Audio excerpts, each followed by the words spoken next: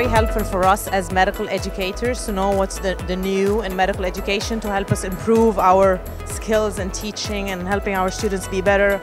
So I think it's really great. It's a great opportunity to be here in the UAE and, and to have all these international speakers tell us about what, what's the new trend in medicine, in medical education.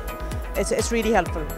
Innovation is at the heart of this university and I can see the fantastic developments and I feel very proud on one hand, very jealous on another because I, I, I get the feeling of, uh, of the passion behind uh, innovation in medical education.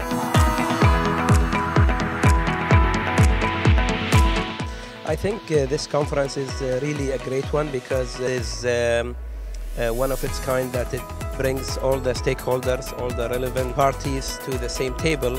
And when we talk about uh, improving the healthcare services um, uh, across um, the region and specifically in UAE, it is important for all of us to know that uh, medicine is a team effort and it's a teamwork, creating a platform for all of us to have an open dialogue and try to share ideas, share thoughts, so that we collectively make a difference in the scope of medical education and health services. It's been an excellent uh, collection of, uh, you know, specialists, renowned personalities who have spoken with passion about the change that has to be brought about in medical education. And that's a good way to think for us, all uh, teachers in medical education, and take up those things which are required at the present moment.